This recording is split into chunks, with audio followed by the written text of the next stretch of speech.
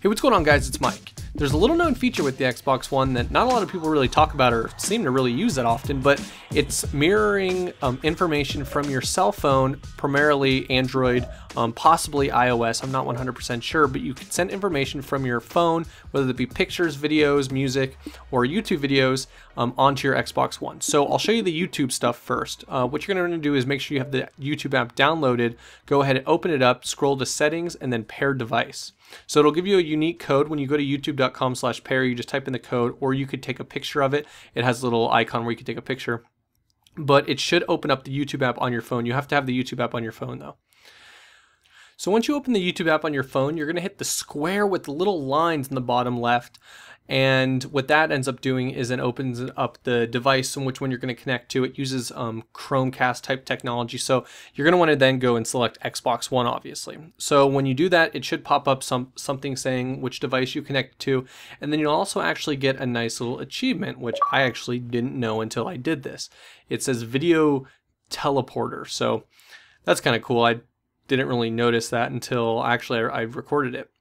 So you could also, you know, change the audio from your cell phone, but what's cool is that when you open up a video on your phone, you could either play it or you could add it to a queue. So once you play it, it'll open it up automatically on your Xbox One.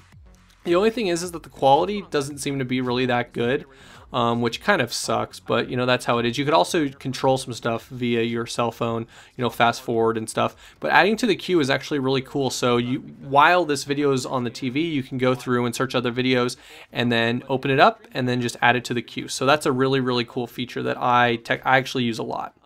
Also, another way you could pair your device is if you hit the settings button and then go to connected TVs, you can add or edit the TVs that you have on your list. So if you want to remove one, you can, or if you want to edit one, you can. So this is how you do it um, the manual way. So next up is actually mirroring stuff from your device to the TV. Um, you're going to want to download an app called Allcast. There's a free version and a paid version. I just use the free version. There are some limits, but it's kind of going to be up to you. You might want to try it first. Allcast, I believe it's only on Android. It might be on iPhone. I'm not 100% sure. So once you open up Allcast, it's going to give you a few different things. So essentially what it does is it connects to your Xbox One similar to the way YouTube connected to your app or, you know, from the app to your Xbox. So once you open it up, you're going to want to obviously select Xbox, and then you have a few different options here. So you can send images via gallery. So the gallery will be images and videos, audio that you have locally only, um, Google Plus images, and Google Drive or Twitch. The Twitch functionality seems a little funky, but um, I'll just give you a, a, quick little showing of what it is when you do a video. So you just open up the video and it kind of takes a little second. It's a little wonky, but eventually it opens up and it essentially shows your video on the TV. It's on. It's ready to go.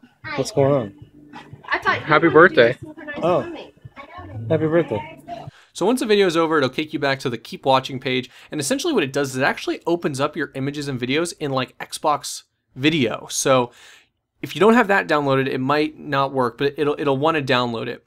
Here's what it looks like when it is doing the slideshow or when you kind of swipe through your pictures. It's a little wonky, but um, essentially it just shows you on screen exactly which picture you're looking at. You could swipe through them um, manually if you'd like but all the pictures are really high quality and the videos are really high quality too but it's just the youtube connections. For some reason it just youtube on the xbox just doesn't seem to really look that good regardless of whether you're, just, you're sending it from your phone or not. But anyways guys i hope this helped. I hope this is a feature that you use um, because it's definitely one that i think is really neat especially when you have people over you want to show a video that's on your phone you can send it to your tv without getting you know any different technology. So anyways guys if you enjoyed the video give it a like. If you want to see more subscribe.